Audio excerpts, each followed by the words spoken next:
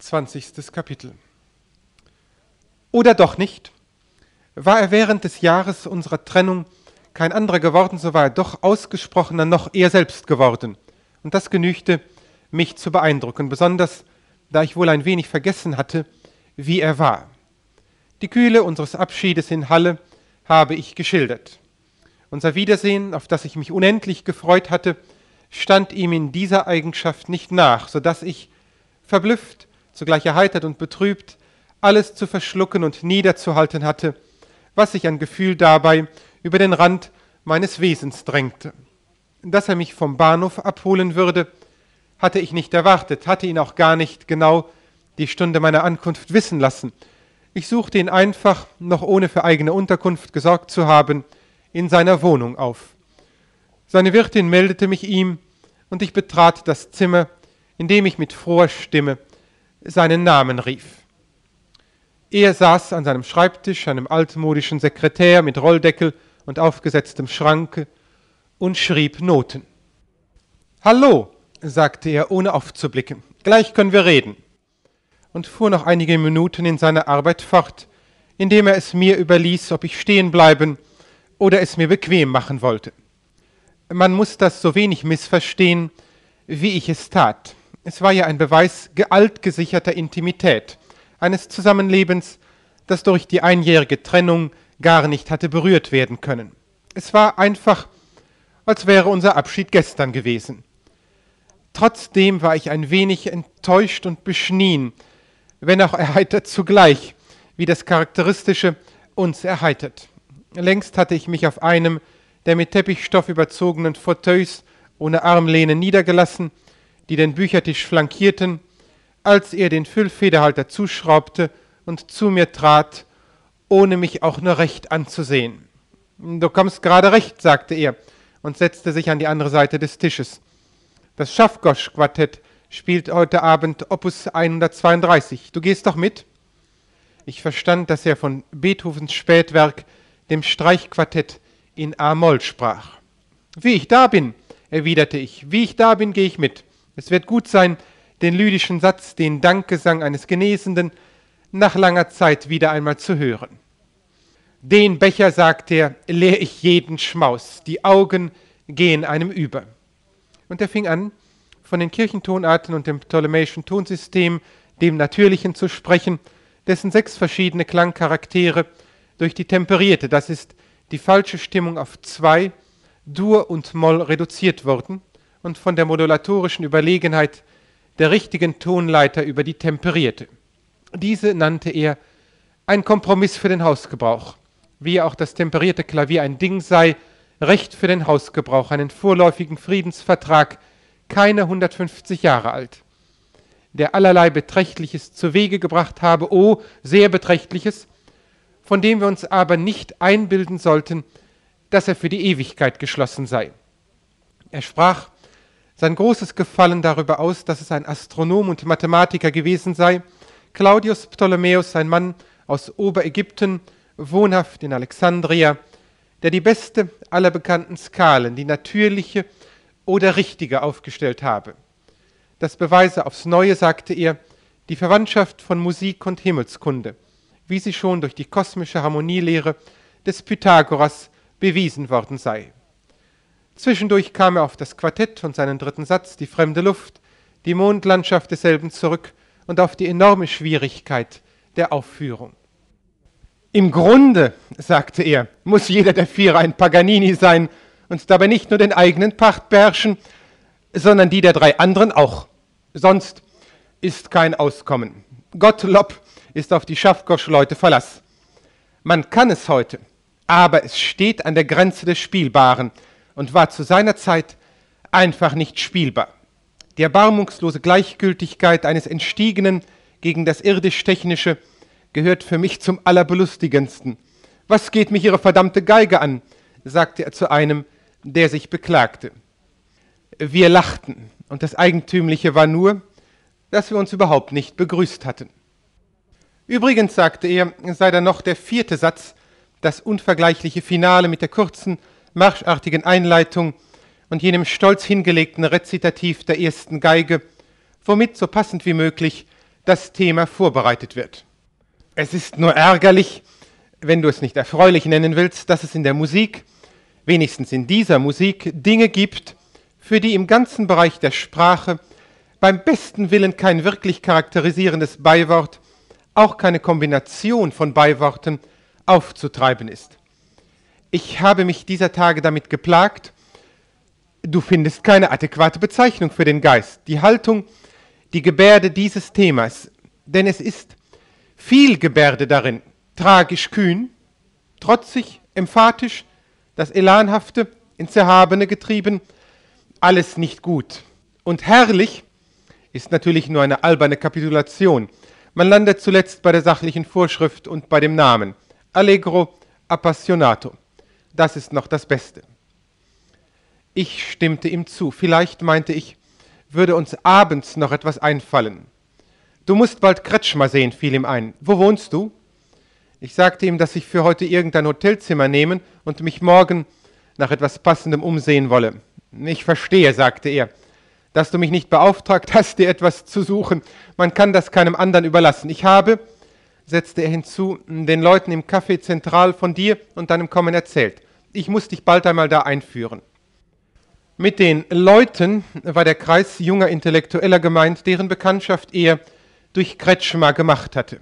Ich war überzeugt, dass er sich ungefähr zu ihnen verhielt, wie zu den Winfried-Brüdern in Halle. Und als ich sagte, es sei ja erfreulich, dass er rasch schicklichen Anschluss gefunden habe in Leipzig, erwiderte er denn auch nun Anschluss.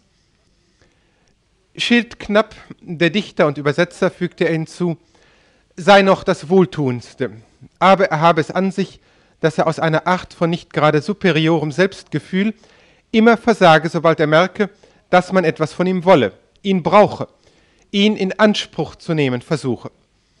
Ein Mensch von sehr starkem oder vielleicht auch etwas schwächlichem Unabhängigkeitssinn, sagte er, aber sympathisch, unterhaltlich und übrigens geltlich so knapp gestellt, dass er selber sehen müsse, wie er durchkomme.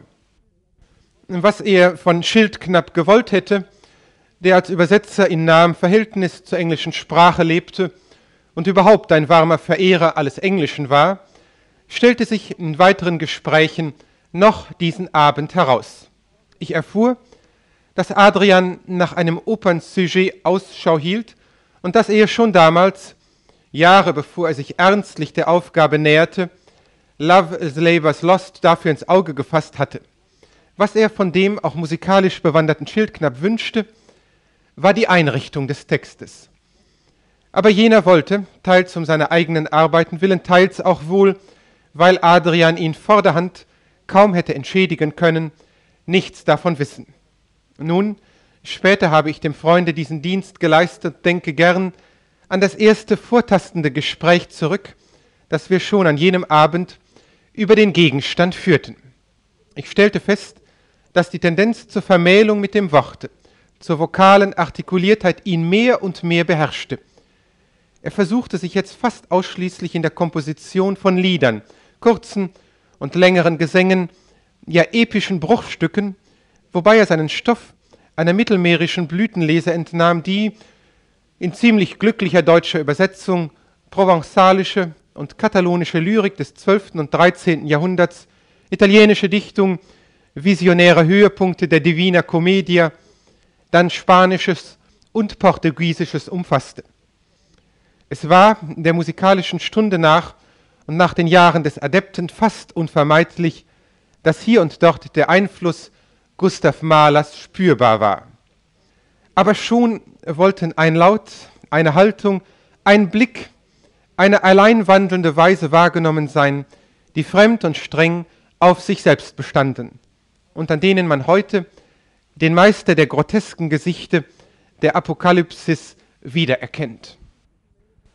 Am deutlichsten meldete dieser sich an in den Gesängen der Reihe, die dem Purgatorio, dem Paradiso entnommen und mit klugem Sinn für ihre Affinität zur Musik gewählt sind.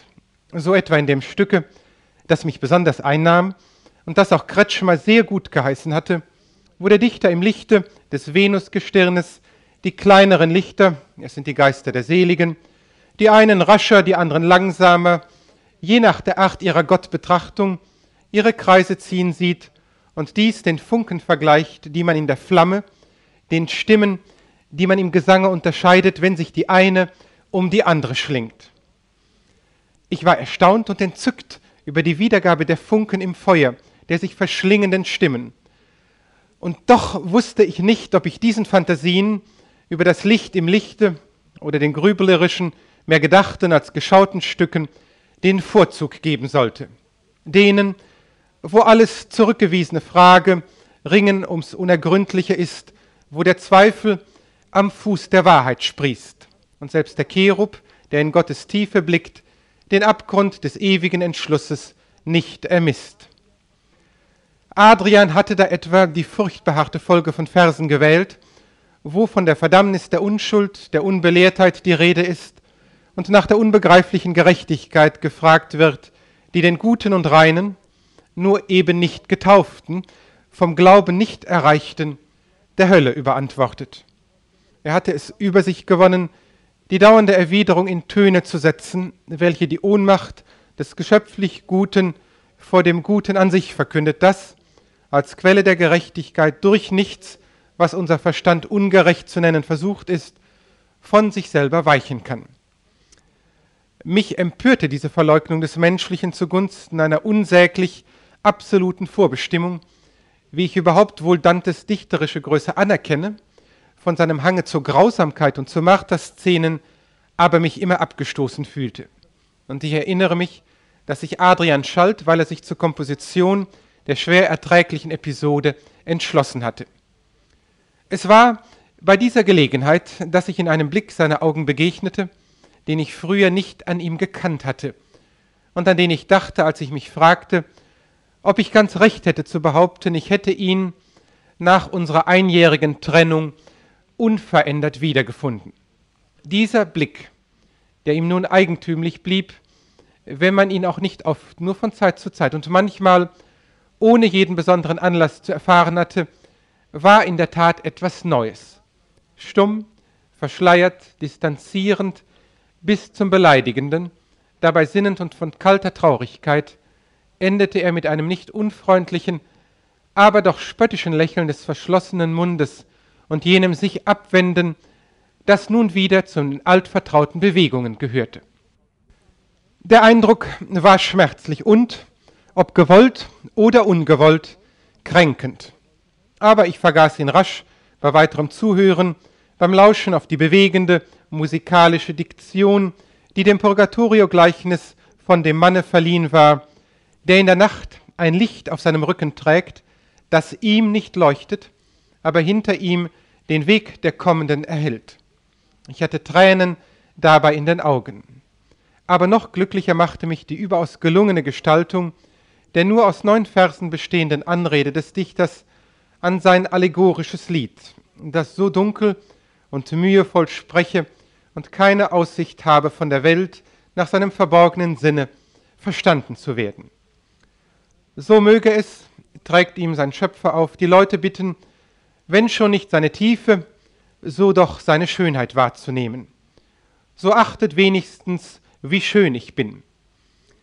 Wie die Komposition aus der Schwierigkeit, künstlichen Verworrenheit, fremdartigen Mühsal der ersten Verse zu dem zarten Licht dieses Ausrufs hinstrebt und sich rührend darin erlöst, das fand ich gleich damals bewundernswert und machte keinen Hehl aus meiner freudigen Zustimmung. Desto besser, wenn es schon etwas taucht, sagte er.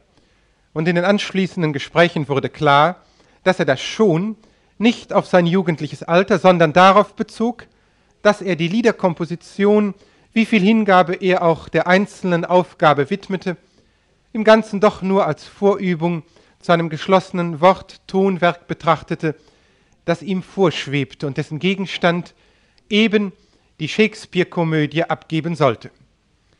Den Bund mit dem Worte, den er betrieb, trachtete er theoretisch zu verherrlichen. Musik und Sprache, insistierte er, gehörten zusammen. Sie seien im Grunde eines.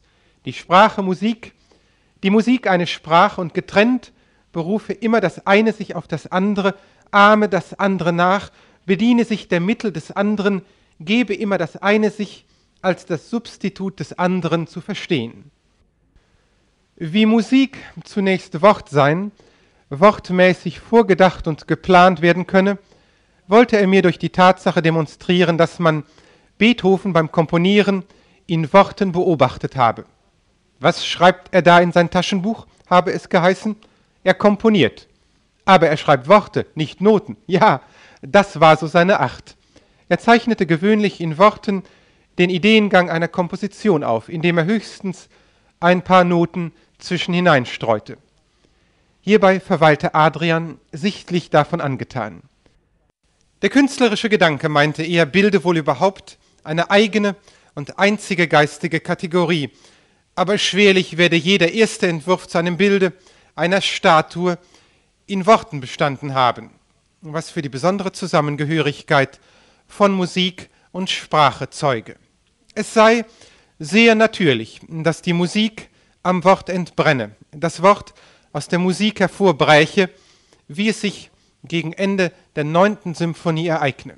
Schließlich sei es doch wahr, dass die ganze deutsche Musikentwicklung zu dem Worttondrama Wagners hinstrebe und ihr Ziel darin finde.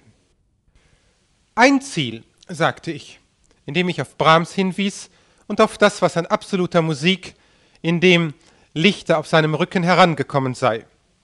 Und er willigte in die Einschränkung umso leichter, als das, was er von weitem vorhatte, so unwagnerisch wie möglich, der Naturdämonie und der mythischen Pathos am allerfernsten war. Eine Erneuerung der Opera buffa im Geist künstlicher Persiflage und der Persiflage der Künstlichkeit, etwas von hochspielerischer Preziosität, die Verspottung affektierter Askese und jenes Euphuismus, der die gesellschaftliche Frucht der klassischen Studien war. Er sprach mir mit Begeisterung von dem Gegenstand, der Gelegenheit bot, das naturwüchsig Tölpelhafte neben das komisch Sublime zu stellen und eines im anderen lächerlich zu machen.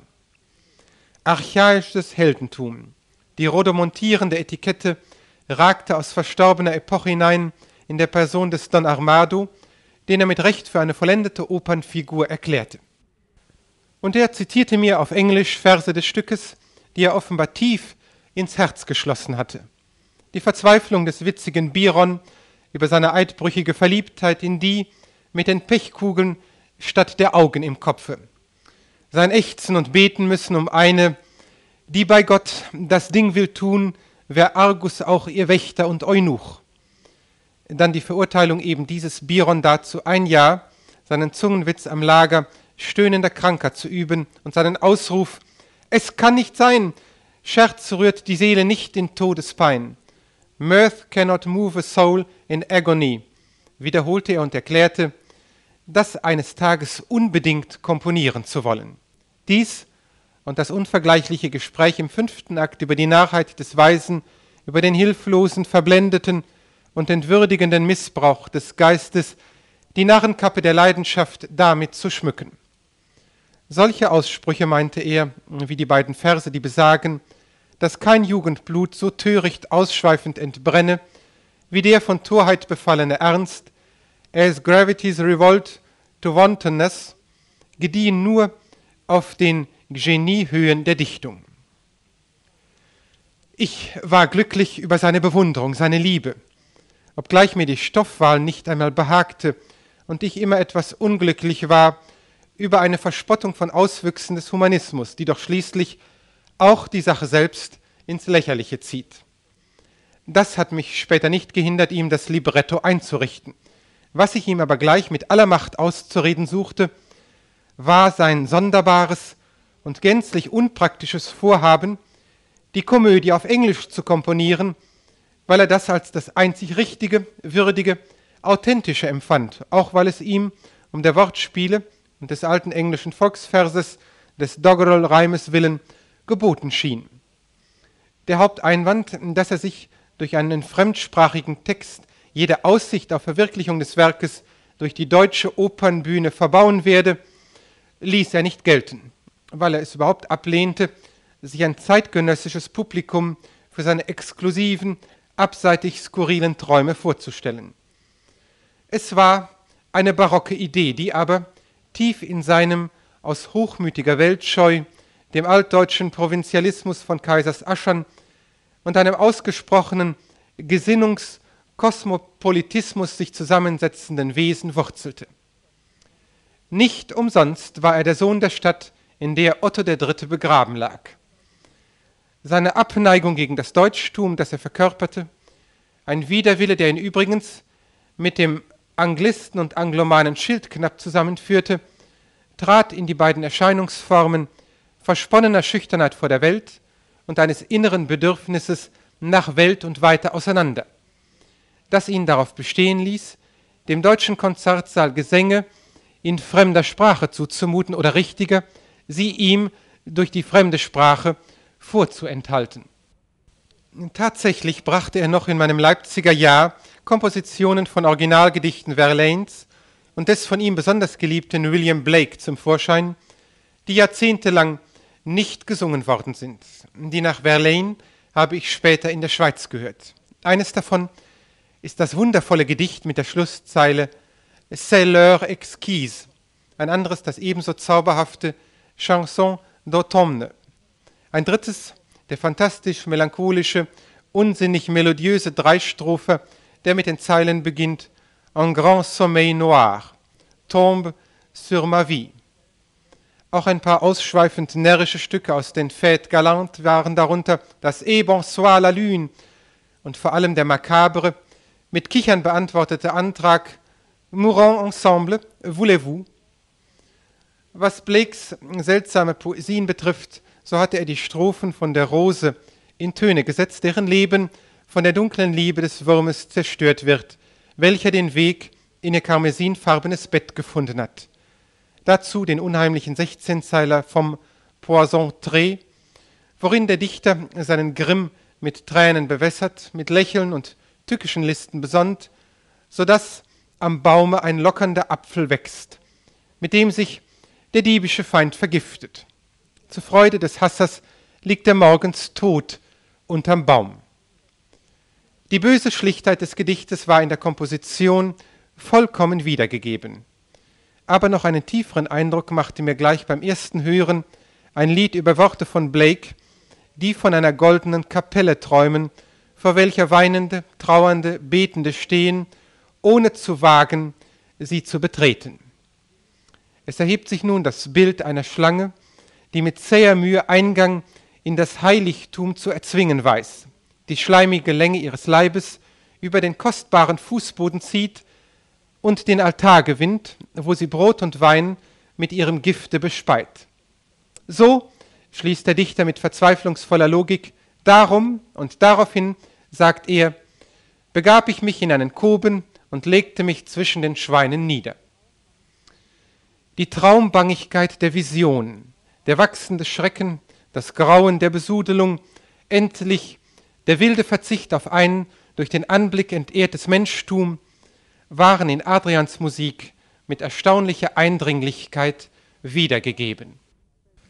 Doch das sind spätere Dinge, wenn sie auch alle in einen Abschnitt gehören, der Leverkühns Leipziger Jahre behandelt. An jenem Abend nach meiner Ankunft also hörten wir das Konzert des Schaffgosch-Quartettes zusammen und besuchten am nächsten Tage Wendel Kretschmer, der mir unter vier Augen von Adrians Fortschritten auf eine Weise sprach, die mich stolz und glücklich machte. Nicht, sagte er, fürchte er weniger als je bereuen zu müssen, dass er ihn zur Musik gerufen. Ein Mensch von solcher Selbstkontrolle und solcher Heiklichkeit gegen das Abgeschmackte und alles dem Publikum bequeme, werde es zwar schwer haben, äußerlich wie innerlich, aber das sei hier gerade recht, denn nur die Kunst könne einem Leben Schwere verleihen, das sonst an seiner Fazilität sich zu Tode langweilen würde. Auch bei Lautensack und dem berühmten Bermeter schrieb ich mich ein, froh, dass ich um Adrians willen keine Theologie mehr zu hören brauchte und ließ mich von ihm in den Kreis des Café Zentral einführen, eine Art von Bohème-Club, der ein verräuchertes Sonderzimmer des Lokals mit Beschlag belegt hatte, wo die Mitglieder nachmittags Zeitungen lasen, Schach spielten und die kulturellen Ereignisse besprachen. Es waren Konservatoristen, Maler, Schriftsteller, junge Verlagsbuchhändler, auch musisch interessierte, angehende Rechtsanwälte, dazu ein paar Schauspieler, Mitglieder der sehr literarisch geleiteten Leipziger Kammerspiele und so fort. Rüdiger Schildknapp, der Übersetzer, uns an Jahren beträchtlich voran, wohl Anfang 30, gehörte, wie schon erwähnt, zu der Runde. Und da er der Einzige war, an den Adrian sich enger anschloss, so trat ich ihm auch näher und verbrachte manche Stunde in beider Gesellschaft. Dass ich dabei ein kritisches Auge auf den Mann hatte, den Adrian seiner Freundschaft würdigte, fürchte ich, der vorläufigen Skizze wird abzumerken sein, die ich hier von seiner Person entwerfen will, obgleich ich mich bemühen werde und mich immer bemüht habe, ihm Gerechtigkeit widerfahren zu lassen. Schildknapp war in einer schlesischen Mittelstadt als Sohn eines Postbeamten geboren, dessen Stellung sich über das Subalterne erhob, ohne in den eigentlich höheren, Akademikern vorbehaltenen Verwaltungsdienst in die Regierungsratssphäre weiterführen zu können. Ein solcher Posten fordert kein Abiturientenzeugnis, keine juristische Vorbildung. Man erlangt ihn nach einigen Jahren Vorbereitungsdienst durch Ablegung der Obersekretärprüfung. Dies war der Weg Schildknapps des Älteren gewesen.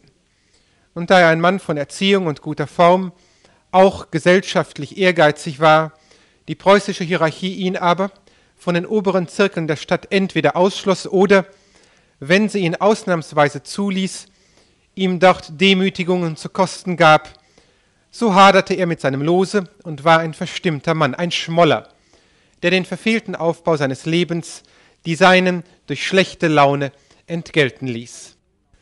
Rüdiger, sein Sohn, schilderte uns sehr anschaulich, indem er Komik vor Pietät setzte, wie die soziale Verbitterung des Vaters ihm, zusammen mit der Mutter, den Geschwistern, das Leben vergällt hätte. Dies umso empfindlicher, als sie sich, der Kultur des Mannes gemäß, nicht in grobem Zank, sondern als feinere Leidigkeit, ausdrucksvollere Selbstbemitleidung kundgegeben hatte. Er war etwa zu Tische gekommen, um sogleich bei der Fruchtsuppe, in der Kirschen schwammen, heftig auf einen Kern zu beißen und sich eine Zahnkrone zu verletzen. Ja, seht, hatte er mit bebender Stimme gesagt, indem er die Arme ausbreitete. So ist es, so geht es mir, so sieht es mir gleich, es ist in mich gelegt, so soll es sein.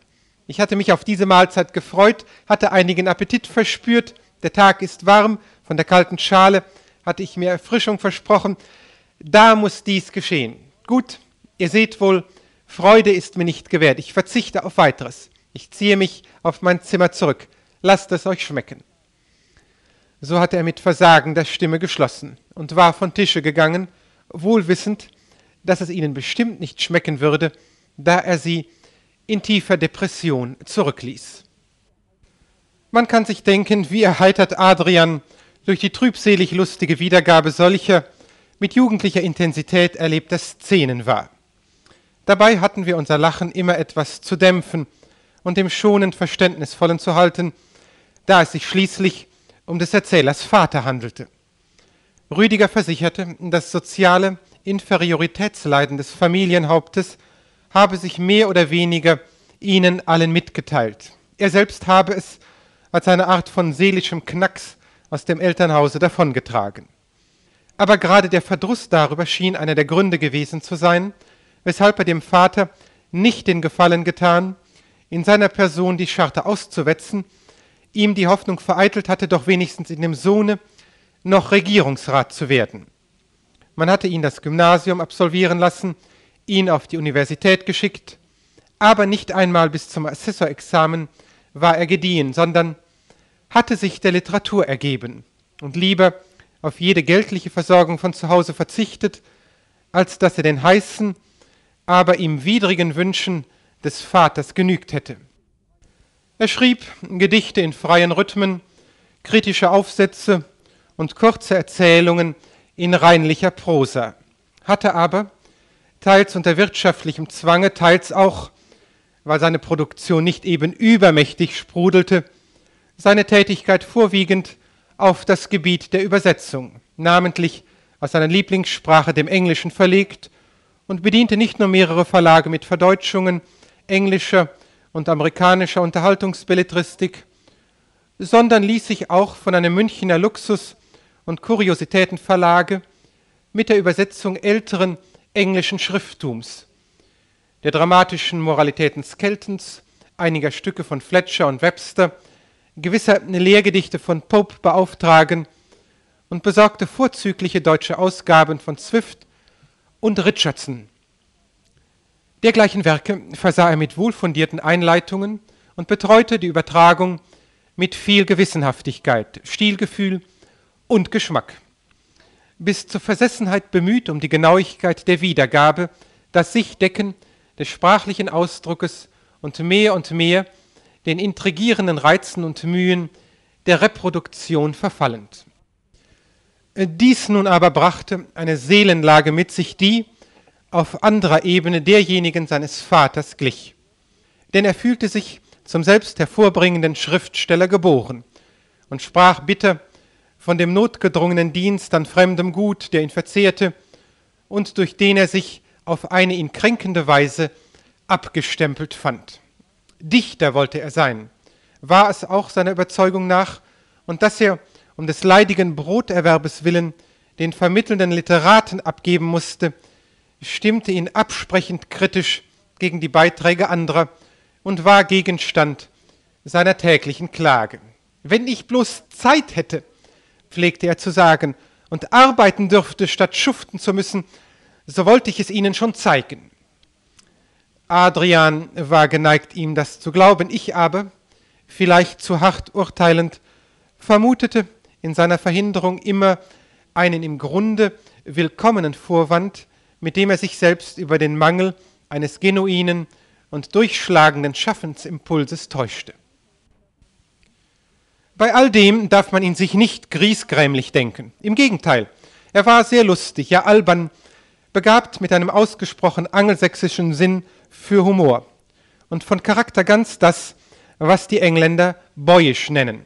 Sofort war er immer mit allen Söhnen Albions bekannt, die als Touristen, Kontinentalbummler, Musikbeflissene nach Leipzig kamen, redete in vollkommener, wahlverwandtschaftlicher Anpassung ihre Sprache mit ihnen, talking nonsense nach Lust und Liebe, und wusste sehr komisch ihre eigenen Versuche im Deutschen nachzuahmen, ihren Akzent, ihr allzu korrektes Verfehlen des umgangssprachlichen Ausdruckes, ihre Ausländerschwäche für das sehr schriftliche Pronomen jener, jenes, wie sie also sagten, besichtigen Sie jenes, wenn Sie nur sagen wollten, sehen Sie das da. Auch sah er gerade so aus wie Sie. Ich habe noch gar nicht von seiner Erscheinung gesprochen. Sie war sehr gut und ungeachtet der ärmlichen, immer gleichen Kleidung, zu der seine Verhältnisse ihn nötigten, elegant und sportlich herrenhaft. Er war von markanten Gesichtszügen, deren geradezu edler Charakter nur durch eine etwas zerrissene und zugleich weichliche Mundbildung, wie ich sie bei Schlesien öfters beobachtet habe, leicht beeinträchtigt wurde.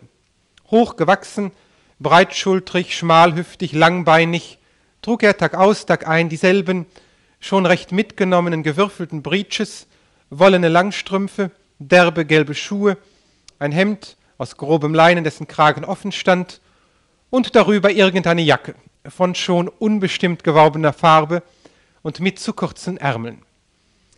Die Hände aber waren vornehm langfingerig, mit schön geformten, ovalen, gewölbten Nägeln, und so unverleugbar gentlemanlike war das Gesamtbild, das er bot, dass er es wagen konnte, in seinem salonwidrigen Alltagsaufzuge Gesellschaften zu besuchen, bei denen Abenddress herrschend war. Den Frauen gefiel er immer noch besser, hm, wie er da war, als seine Nebenbuhler in korrektem Schwarz und Weiß. Und man sah ihn bei solchen Empfängen umringt von unverhohlen, bewundernder Weiblichkeit. Und doch, und wiederum, konnte seine dürftige, durch banalen Geldmangel entschuldigte Hülle seinem Kavalierstum nichts anhaben, das als die natürliche Wahrheit hindurchschien und sich gegen sie durchsetzte, so war wieder diese Wahrheit zum Teil eine Täuschung. Und in diesem komplizierten Sinne war Schildknapp ein Blender.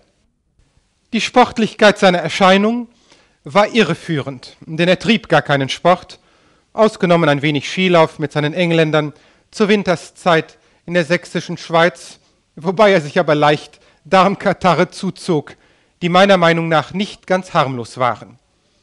Denn trotz seiner braunen Gesichtsfarbe, seinen breiten Schultern, stand seine Gesundheit nicht auf den festesten Füßen. Und als noch jüngerer Mensch hatte er eine Lungenblutung gehabt, neigte also zur Tuberkulose. Seinem Glück bei Frauen entsprach meiner Beobachtung nach nicht ganz das Glück, dessen sie sich bei ihm erfreuten, wenigstens individuell. Denn in ihrer Gesamtheit genossen sie seine ganze Verehrung, eine vagierende, umfassende Verehrung, die so sehr dem Geschlecht als solchem, den Glücksmöglichkeiten der ganzen Welt galt, dass der Einzelfall ihn unaktiv, sparsam, zurückhaltend fand dass er so viel Liebensabenteuer hätte haben können, wie er wollte, schien ihm zu genügen, und es war, als scheute er vor jeder Bindung ans Wirkliche zurück, weil er einen Raub am Potenziellen darin sah. Das Potenzielle war seine Domäne, der unendliche Raum des Möglichen, sein Königreich. Darin und so weit war er wirklich ein Dichter. Aus seinem Namen schloss er, dass seine Vorfahren riesige Begleiter von Edlen und Fürsten gewesen waren, und obgleich er nie auf einem Pferde gesessen hatte, auch gar nicht nach der Gelegenheit trachtete, eins zu besteigen, fühlte er sich zum Reiter geboren. Er schrieb es atavistischer Erinnerung, einem Blutserbe zu, dass er sehr oft vom Reiten träumte und machte uns ungemein überzeugend vor, wie natürlich es ihm war, mit der linken den Zügel zu halten und mit der rechten dem Gaule den Hals zu klopfen. Die häufigste Redensart in seinem Munde war das Wort man sollte. Es war die Formel für ein wehmütiges Erwägen von Möglichkeiten, vor deren Erfüllung die Entschlussunfähigkeit stand. Man sollte dies und jenes tun, dies und jenes sein oder haben. Man sollte einen Leipziger Gesellschaftsroman schreiben, sollte, sei es auch als Tellerwäscher, eine Weltreise machen, sollte Physik, sollte Astronomie studieren, ein Gütchen erwerben und nur noch im Schweiße seines Angesichtes die Scholle bestellen.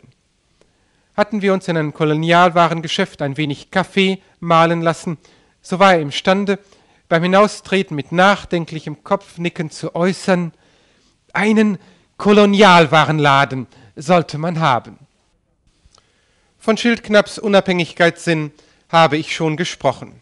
Es drückte sich dieser Jahr schon in seiner Verabscheuung des Staatsdienstes seiner freien Berufswahl aus.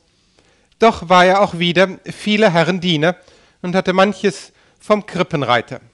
Warum hätte er übrigens bei seinen schmalen Verhältnissen nicht von seinem guten Aussehen, seiner gesellschaftlichen Beliebtheit einen nützlichen Gebrauch machen sollen? Er ließ sich viel einladen, aß da und dort zu Mittag in Leipziger Häusern, auch in reichen jüdischen obgleich man antisemitische Äußerungen von ihm hören konnte. Leute, die sich zurückgesetzt, nicht nach Gebühr gewürdigt fühlen und sich dabei einer edlen Physis erfreuen, suchen oft ihre Genugtuung in rassischem Selbstgefühl. Das Besondere seines Falles war nur, dass er auch die Deutschen nicht mochte, von ihrer volksgesellschaftlichen Inferiorität durchdrungen war und es nun wieder damit erklärte, dass er es eher noch oder lieber gleich mit den Juden hielt. Diese ihrerseits, die jüdischen Verlegersfrauen und Bankiersdamen, blickten mit der tief gefühlten Bewunderung ihrer Rasse für deutsches Herrenblut und lange Beine zu ihm auf und genossen es sehr, ihn zu beschenken. Die Sportstrümpfe, Gürtel, Zwieter und Halstücher, die er trug, waren meistens Geschenke und nicht immer ganz unprovozierte. Denn wenn er eine Dame beim Shopping begleitete, konnte er wohl auf einen Gegenstand weisen und sagen, nun, Geld würde ich dafür nicht geben, höchstens geschenkt würde ich's nehmen. Und er nahm es geschenkt, mit der Miene eines, der ja gesagt hatte, dass er kein Geld dafür geben würde. Im Übrigen bewies er sich und anderen seine Unabhängigkeit durch die grundsätzliche Weigerung, sich gefällig zu erweisen, also dadurch, dass er, wenn man ihn brauchte, bestimmt nicht zu finden war fehlte ein Tischherr und man bat ihn einzuspringen, so sagte er unfehlbar ab. Wünschte jemand für eine Reise einen vom Arzte vorgeschriebenen Kuraufenthalt, sich seiner angenehmen Gesellschaft zu versichern, so war seine Weigerung desto gewisser, je deutlicher dem anderen an seiner Unterhaltung gelegen war. So hatte er sich ja auch dem Ansinnen Adrians verweigert, ihm Love's Labour's Lost als Textbuch einzurichten. Dabei liebte er Adrian sehr, war ihm aufrichtig anhänglich, und dieser nahm ihm das Versagen nicht übel, war überhaupt voller Duldsamkeit gegen seine Schwächen, über die ja auch Schildknapp selber lachte, und viel zu dankbar für sein sympathisches Gespräch, seine Vatergeschichten, seine englische Albernheit, als dass er ihm etwas hätte nachtragen mögen. Nie habe ich ihn so viel lachen, und zwar Tränen lachen sehen, wie beim Zusammensein mit Rüdiger Schildknapp. Ein echter Humorist wusste der, den unscheinbarsten Dingen eine momentan überwältigende Komik abzugewinnen. So ist es ja eine Tatsache, dass das Zerbeißen von sprödem Zwieback das Gehör des Essers mit betäubendem Geräusch belegt, es gegen die Außenwelt absperrt. Und Schildknapp demonstrierte nun also beim Tee, wie eine Zwieback essende Gesellschaft einander gar nicht verstehen könne und ihre Konversation auf Wie beliebt? Haben Sie etwas gesagt? Einen Augenblick bitte beschränken müsse. Wie konnte Adrian auch lachen, wenn Schildknapp mit seinem Spiegelbild haderte? Er war nämlich eitel, nicht auf banale Art, sondern in dichterischer Hinsicht auf das Unendliche, seine Entschlussfähigkeit weit übersteigende Glückspotenzial der Welt, für das er sich jung und schön zu halten wünschte, und grämte sich über die Neigung seines Gesichtes zu verfrühter Runzelbildung, vorzeitigem Verwittern. Ohnehin hatte sein Mund etwas Greisenhaftes, und zusammen mit der gerade darauf niedergehenden, etwas hängenden Nase, die man gern noch als klassisch anzusprechen bereit war, ließ er Rüdigers Altersphysiognomien vorwegnehmen. Dazu kamen Stirnfalten, Strichfurchen von der Nase bis zum Mund und sonst allerlei Krähenfüße.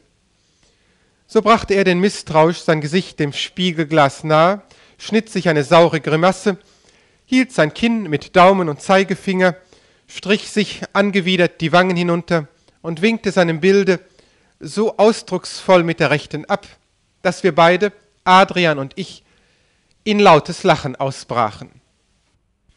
Was ich noch nicht erwähnt habe, ist, dass seine Augen genau die gleiche Farbe wie diejenige Adrians hatten. Das war sogar eine merkwürdige Gemeinsamkeit. Ganz eben dieselbe Mischfarbe, aus Grau, Blau, Grün wiesen sie auf wie bei jenem, und selbst ein identischer rostfarbener Ring um die Pupillen ließ sich bei beiden feststellen.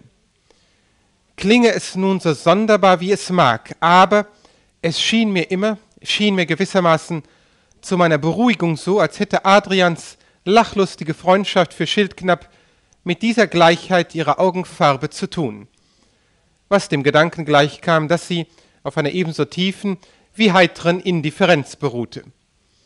Kaum brauche ich hinzuzufügen, dass sie einander alle Zeit mit Nachnamen und Sie anredeten. Wusste ich Adrian auch nicht so zu amüsieren wie Schildknapp, das Kindheitsdu zwischen ihm und mir hatte ich doch vor dem Schlesier voraus.